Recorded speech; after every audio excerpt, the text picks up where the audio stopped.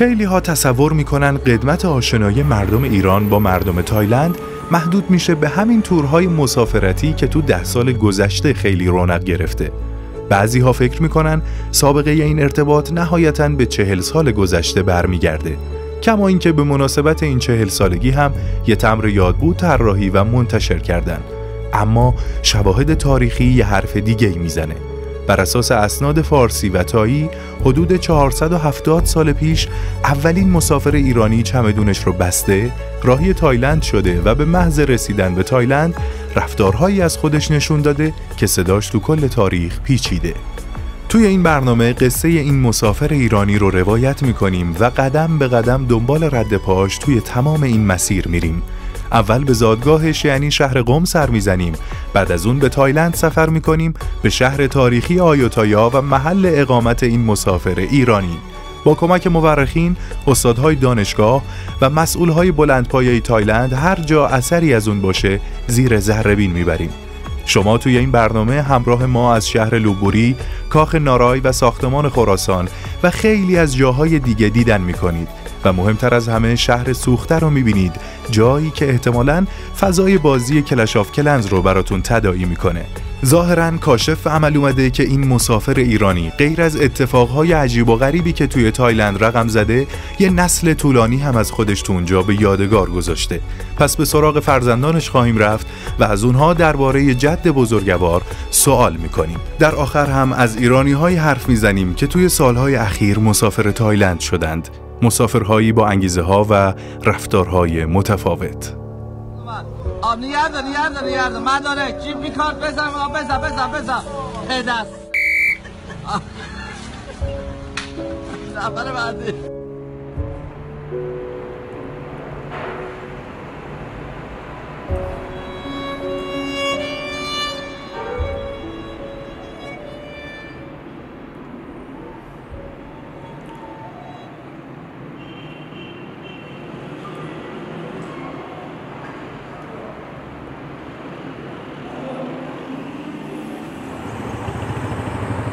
من الان در قم هستم شهری در مرکز ایران.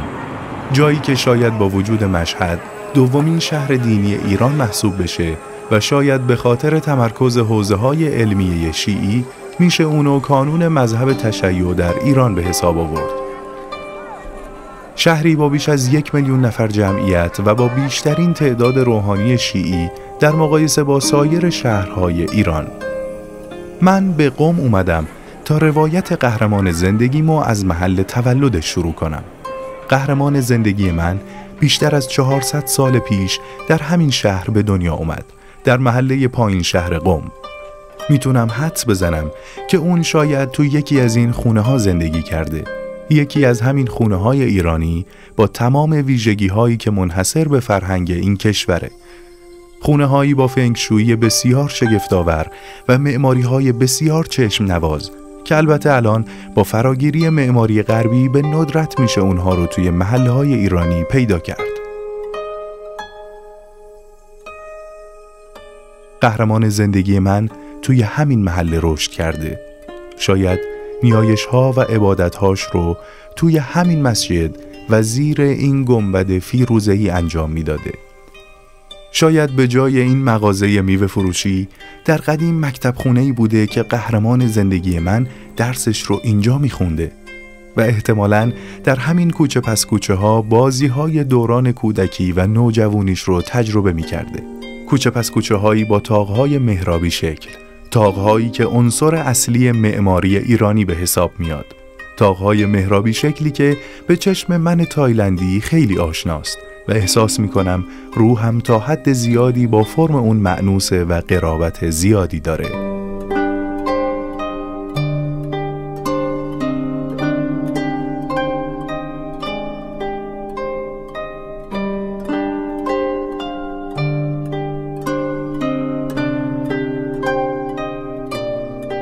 قصه من درباره مسافریه که بیشتر از 400 سال پیش از همین محله به سرزمین من تایلند اومد و سالهای سال نبض سیاست، اقتصاد، امنیت و فرهنگ ما رو در دست خودش گرفت و تاریخ تایلند، چین، ژاپن، میانمار و به شکل کلی جنوب شرقی آسیا رو تحت تأثیر قرار داد.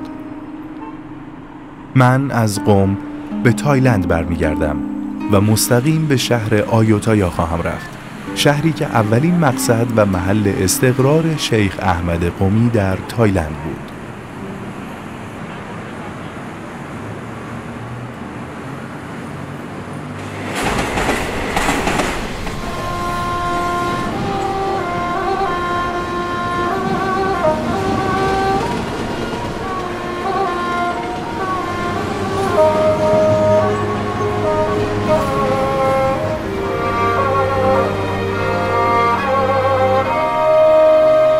شیخ احمد قومی در سال 1602 میلادی وارد تایلند شد.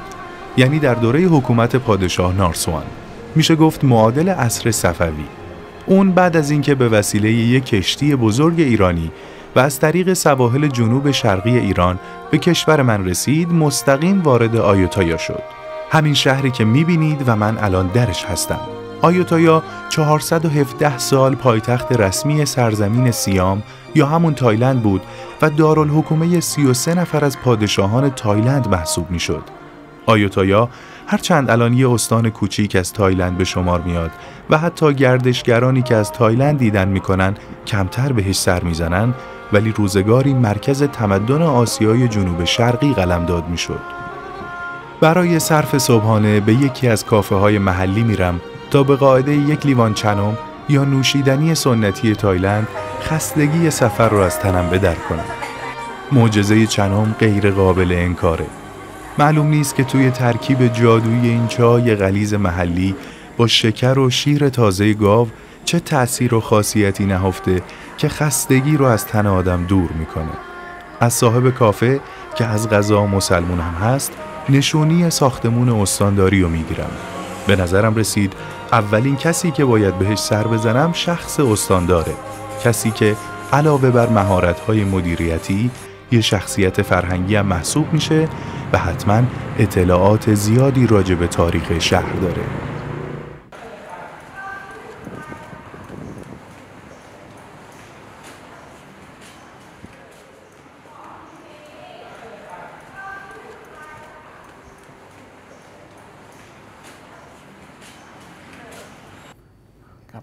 سلام.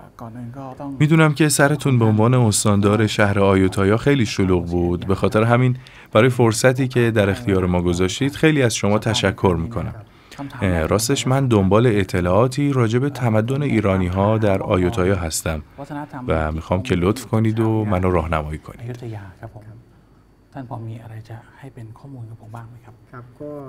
بله. آثار بسیار زیادی توی شهر آیوتایا وجود داره که متعلق به نسل شیخ احمد قومیه. خب الان اگه من بخوام اون آثار رو از نزدیک ببینم و سراغ میراث شیخ احمد برم دقیقا از کجای شهر آیوتایا می‌تونم شروع کنم؟ خب به نظرم می‌تونی در ابتدا از منطقه سام پاولوم شروع کنی.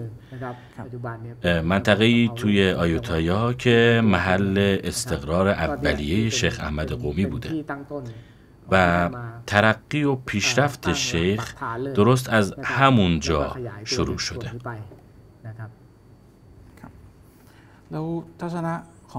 من خیلی دوست دارم نظر خود شما رو به عنوان استاندار شهر آیوتایا یا بهتر بگم شهر باستانی آیوتایا راجب شیخ احمد قومی بدونم. به هر حال این مسافر ایرانی 400 سال قبل از این وقتی وارد تایلند شد شهر شما رو به عنوان مقصد اصلی خودش انتخاب کرده. اگه میشه نظر خودتون رو در مورد شیخ احمد در چند جمله به من بگید خب هیچ کس تو اهمیت شخصیت شیخ احمد شکی نداره. شیخ کمک های زیادی به شکوفایی و توسعه اصر آیوتایا کرده. به علاوه اینکه فرهنگ آسیای غربی رو هم همراه خودش به تایلند آورده. آثار و نتایج خدمات شیخ هنوز هم وجود داره. فرزندان و نسلهای بعدی شیخ احمد هم طی این پنج قرن جایگاه ویژه‌ای پیش همه مردم تایلند داشتند و مورد احترام همه و نه فقط اهالی آیوتایا بودند.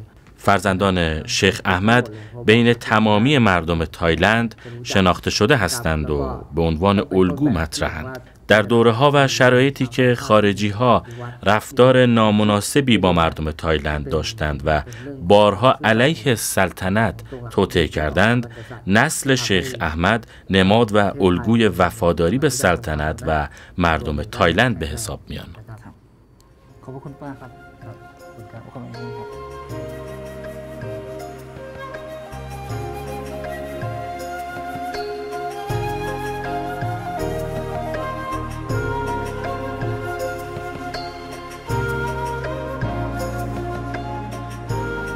پیشنهاد جناب استاندار این بود که به محل استقرار و محل سکونت شیخ احمد برم و تحقیقات خودم و از اونجا ادامه بدم.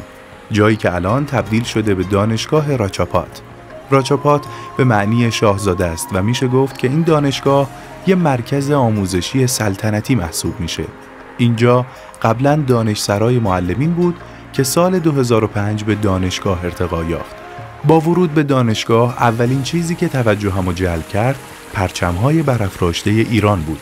بعد که تابلوی مرکز ایران شناسی رو دیدم تعجبم بیشتر شد. این شگفتی با دیدن فضا و دکور و طراحی اتاق جناب پروفسور به اوج خودش رسید.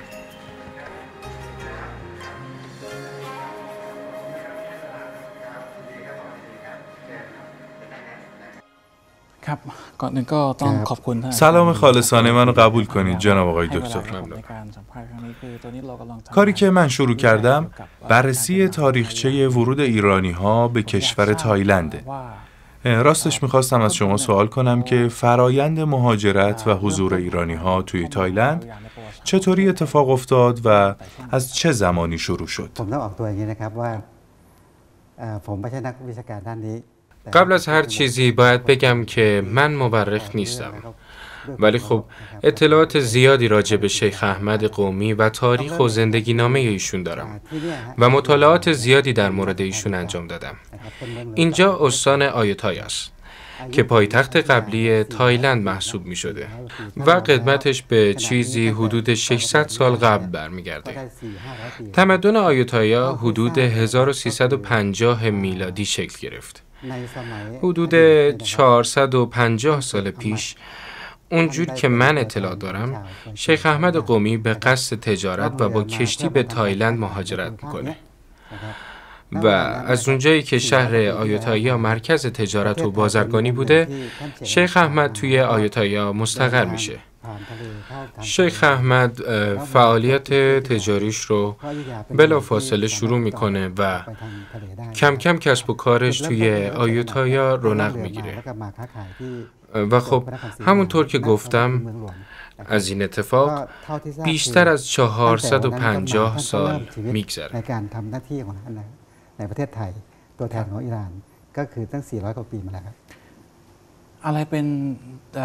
چه چیز باعث شد که شیخ احمد قومی وارد سلطنت و دربار حکومت تایلند بشه؟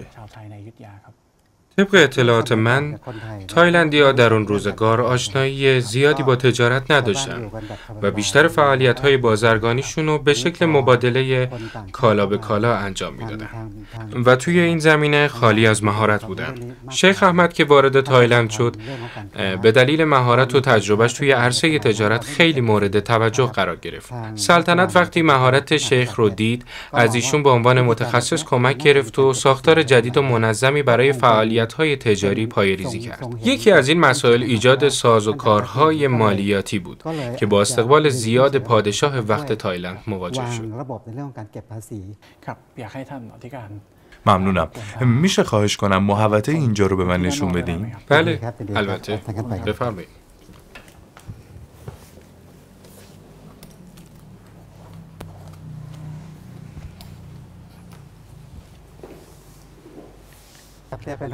این ساختمون اختصاصا برای مطالعات حوزه ایران و همچنین آسیای غربی ساخته شده. تمام زمین های این اطراف که الان دست دانشگاهه یک روزی متعلق به شیخ احمد بوده. ما در زبان تایلندی به اون قسمت کوکه میگیم کو یعنی کوه و تپه و که یعنی مسلمان اینجا محل دفن شیخ احمد قومیه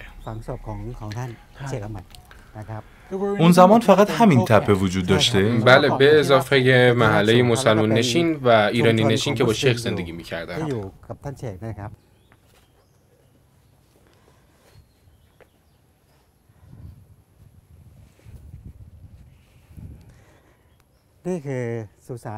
این هم مقبره شیخ احمد قومیه و طبق اسناد تاریخی پیکر شیخ احمد همینجا دفن شده.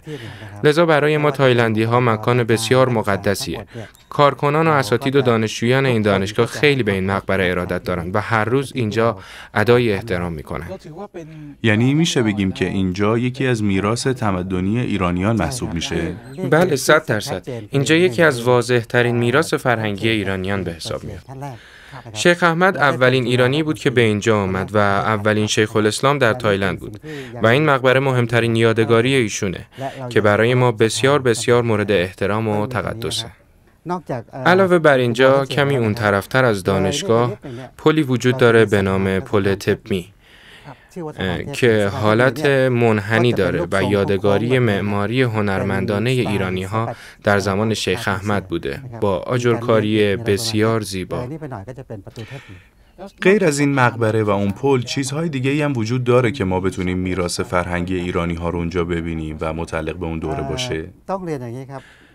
غیر از آثار نقاشی و نگارگری ایرانی که موجوده می‌تونم به شما کاخ نارای توی شهر لوپوری رو پیشنهاد کنم. کاخ نارای بنا بر الگوی معماری ایران ساخته شده و حتی یه ساختمون دیدنی به اسم خراسان در اون قرار داره. این الگو هنوز در لوپوری پابرجاست فکر کنم منظور شما اینه که میراث فرهنگی ایرانی ها محدود به آیوتایا نیست و توی شهرهای دیگه هم دیده میشه. بله، حوزه سلطنت عصر آیوتایا خیلی وسیع بوده و همه جا رو در بر می گرفته و شهر لوبوری هم در اون زمان قسمتی از قلمروی پادشاهی آیوتایا محسوب می شده. اما تقسیمات امروزی کشوری این شهرها رو از همدیگه جدا کرده شما به عنوان رئیس این دانشگاه و این مجموعه دوست دارید چه اتفاقی در مورد اینجا بیفته؟ بعد از شیخ احمد ظاهرا کسی کار ایشون رو ادامه نداد و از ایران به اینجا نیامد البته به غیر از نواده هاش که هر سال اینجا جمع میشن. شما به عنوان رئیس دانشگاه چه پیشنهادی برای اینجا دارین؟ آرزوم اینه که یه محله پارسی تو آیوتایا احداث شه. یه چیزی مثلا به نام دهکده ایرانی ها. ما تو تایلند دهکده ژاپنی ها داریم دهکده پرتغالی ها داریم و اساسا هر ملیتی که چند سال اینجا حضور داشته یه دهکده و محله تأسیس کرده و تنها ملیتی که اینجا جاش خالیه ملیت ایرانیه در صورتی که ایرانیا بهترین خارجیایی بودند که در تایلند اومدن و خدمت کردن و تا مقام وزارت اعظم و صدارت پیش رفتن. اگه به لیاقت و شایستگی هم باشه ایرانی ها از همه شایسته ترن که اینجا یه دهکده و محله داشته باشن. من با کارکنان اینجا مطرح کردم که همت کنن اینجا رو به یه دهکده ایرانی تبدیل کنیم. تا هر وقت ایرانی ها به تایلند میان آینه تمدن ایرانی و اسلامی خودشون رو اینجا تماشا کنن.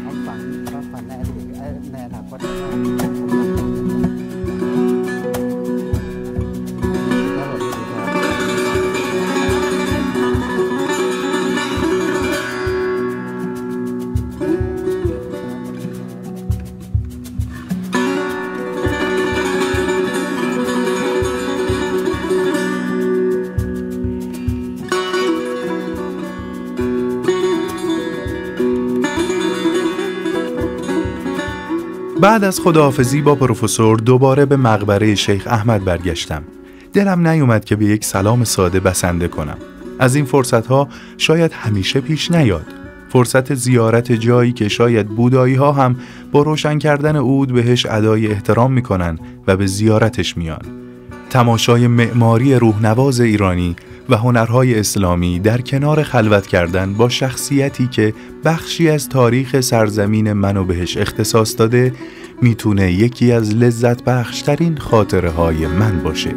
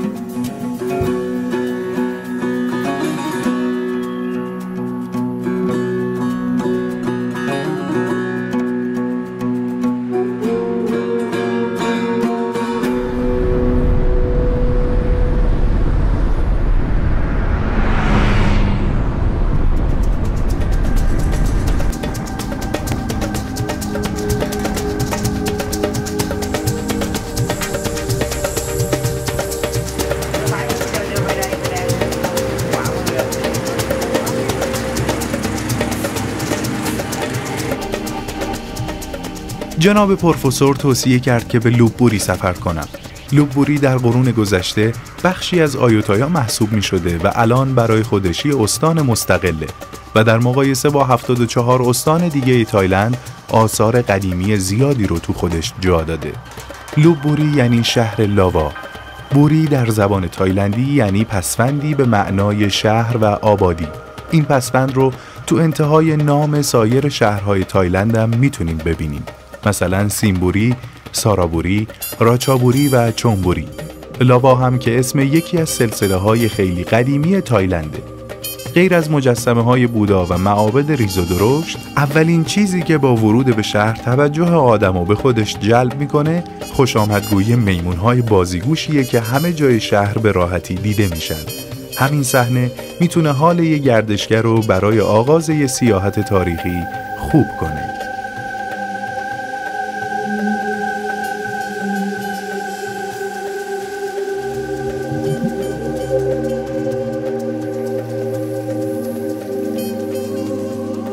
در قرن هفدهم میلادی شاهنارای لوبوری رو به عنوان پایتخت دوم پادشاهی خودش انتخاب می‌کنه و دستور میده که این کاخ با شکوه رو ظرف مدت کوتاهی بسازن. نارای تنها هشت ماه از سالو در اینجا بوده و تو فصلهای بارونی به آیوتایا برمیگشته. این کاخ بیشتر برای استراحت، شکار و استقبال از میهمانان رسمی بوده و در زمان شکوفایی و رونق این کاخ چند سالی می شده که از مرگ شیخ احمد میگذشته. با این وجود اینجا می‌تونه آینه تمام نمای تأثیرات فرهنگی شیخ بر روی پادشاه های تایلند به حساب بیاد. این مسئله رو می‌تونیم در شکل معماری کاخ ببینیم. قوس های به کار رفته همه از نوع قوس های تیزه داره. آجرهای قوس طوری کنار هم قرار گرفتن که بتونن وزن اونو تحمل کنن. در واقع قوس بار عمودی رو به دو طرف و دیواره ها منتقل می‌کنه. تأثیر فرهنگ ایرانی رو حتی میشه تو نامگذاری ساختمون های اینجا هم دید. مثل ساختمون خراسان که بنا به توضیحات تابلوهای راهنما محل اقامت سفیران عالی رتبه ایران بوده. البته من قصد ندارم برای پژوهشم قناعت کنم به همین تابلوها و توضیحات مختصرشون. برای تکمیل کردن اطلاعاتم باید با یک کارشناس تاریخ و یک خبره تایلند شناسی صحبت کنم کسی که به شکل تحلیلی و قابل استناد بتونه در مورد این آثار به من کمک کنه استاد پراچایا متخصص این حوزه است و مدرس دانشگاه که با آغوش باز درخواست منو قبول کرد.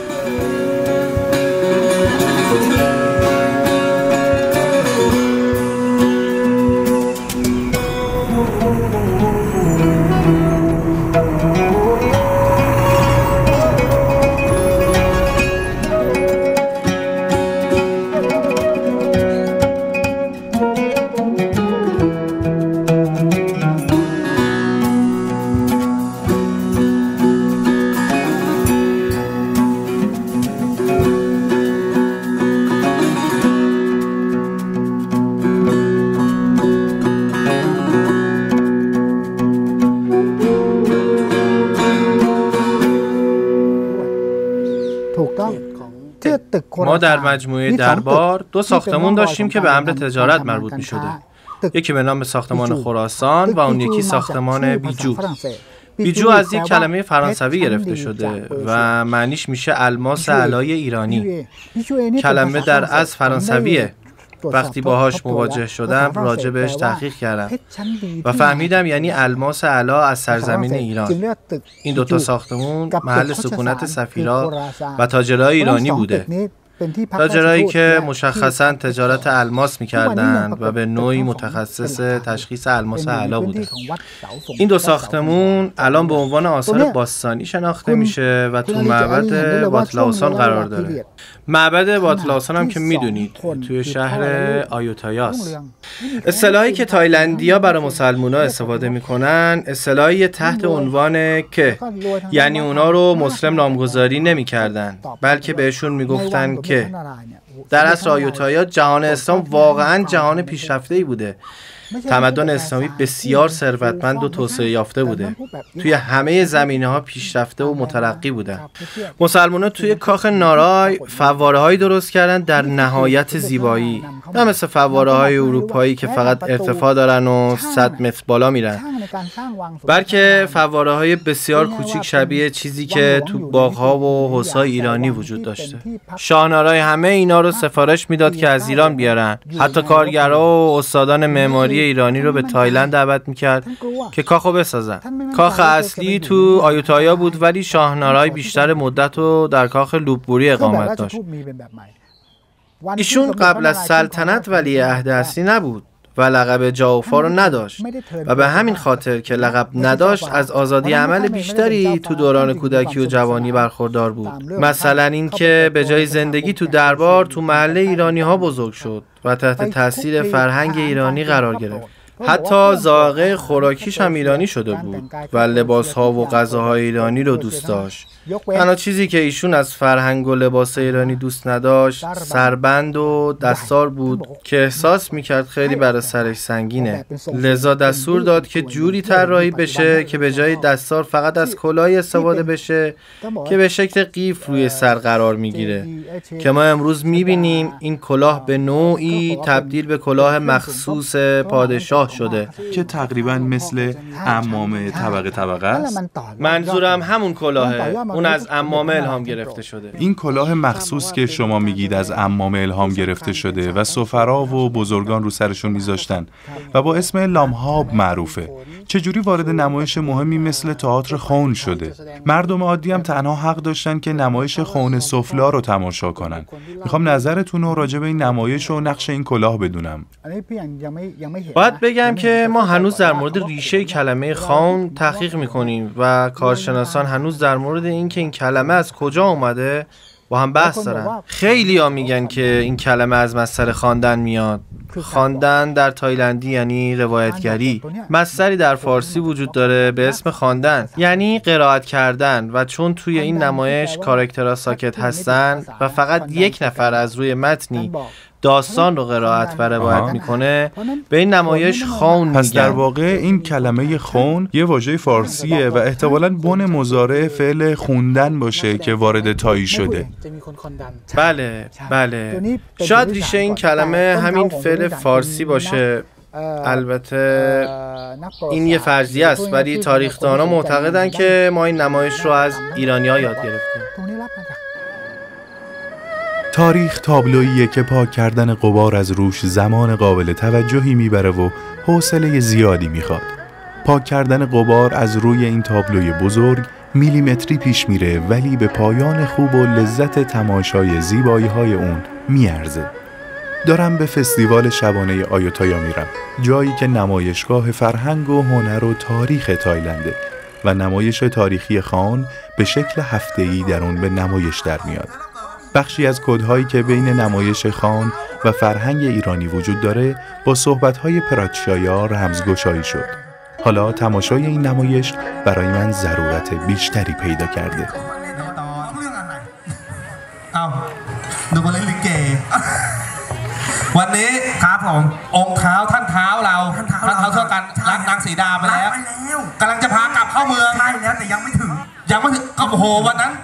่านรีบไปแล้วเกิน ทำไมอะ ก็จับนางคว้านางสีดาได้พาขึ้นราชรถจะพากลับเมืองเลย เออจะไปเลยพี่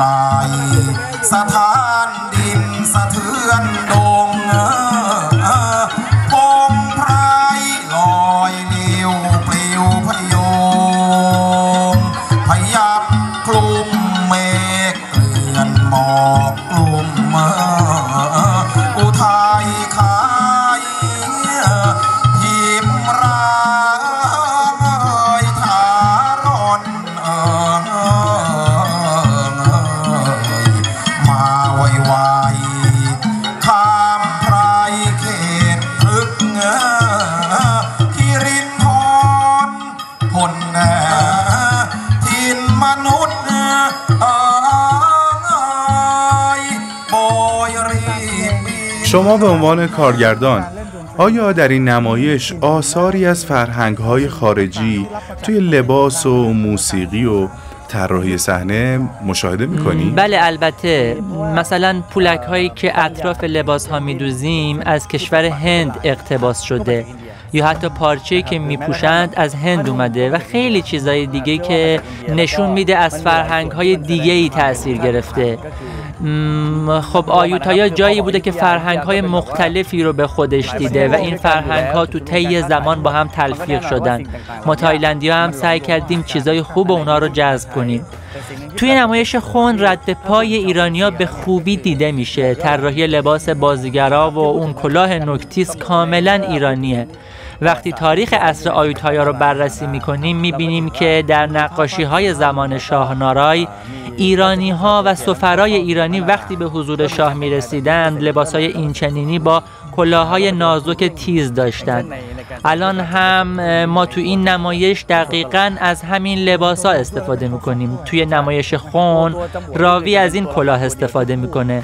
باید بگم تنها کاراکتری که تو نمایش خون صحبت می‌کنه همین شخصیت راویه. نمایش خون نهایتا با نتیجه گیری شخصیت راوی به پایان می‌رسه.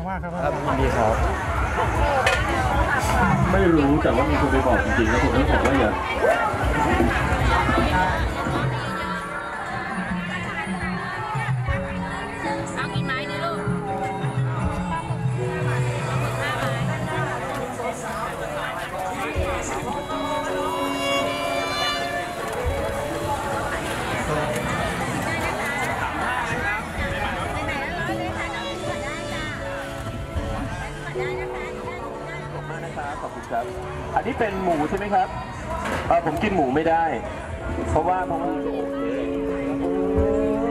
อีกทีอีกที برخلاف همه نقاش ها که اثرشون رو روی یه صفحه سفید شروع میکنن این نقاش ناشنوای تایلندی عادت داره که روی یه صفحه سیاه قلموی خودش رو به حرکت دراره و از یه صفحه تاریک یه صحنه تماشایی بسازه نقش آفرینی و اثرگذاری روی یه صفحه تاریک هنر انسانهای بزرگه. هنر کسایی که از سیاهی نمیترسن بلکه با شجاعت میان تو دلش و یه اثر ماندگار از خودشون به جا می‌ذارن. هنر شیخ احمد قومی که می‌تونست با اون هوش و استعداد و فضلی که داشت مثل بقیه دوستاش توی شهر خودش بمونه و احتمالاً در کمال آسایش ترقی کنه.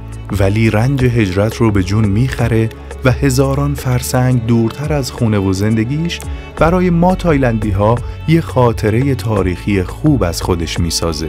جوری که من به عنوان یه جوون تایلندی بعد از قریب 500 سال دور بیفتم و سراغ میراث بزرگشو از گوشه و کنار این سرزمین بگیرم.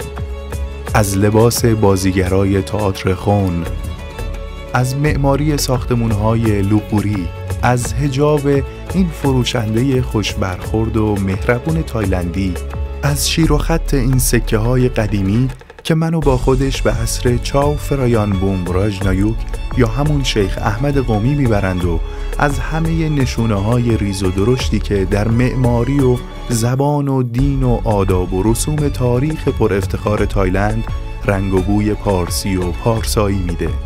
من همچنان به روایت داستان هجرت و قصه شیخ احمد قومی ادامه خواهم داد.